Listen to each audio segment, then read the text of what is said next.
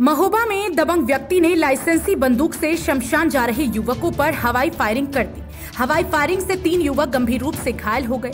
वहीं अंतिम संस्कार करने जा रहे नागरिकों ने दबंग व्यक्ति को पकड़कर पुलिस को सौंप दिया और घायल युवकों को अस्पताल में भर्ती कराया है।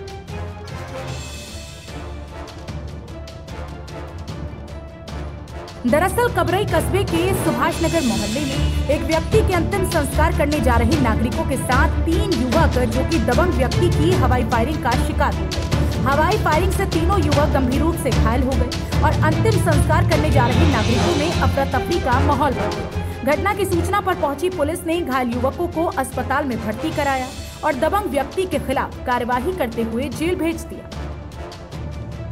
है कि हमारी आंटी की डेथ हो चुकी थी तो हम जा रहे थे यहाँ पे शमशान घाट शमशान घाट पे बारात लेके ठीक है?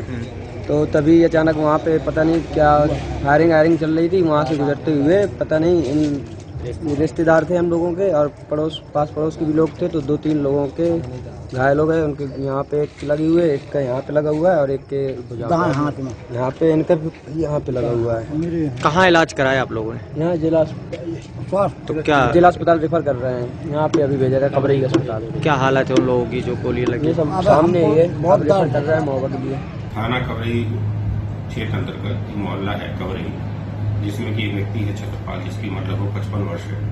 उसने शराब के नशे में अपनी बंदूक से जो बारह बोर की है, उससे हवाई फायर कर दिया जैसे वहाँ से तीन लोग जब गुजर रहे थे तो उसमें दो व्यक्तियों के हाथ में छर्रे लगे हैं और एक के कमर में छर्रा लगा है।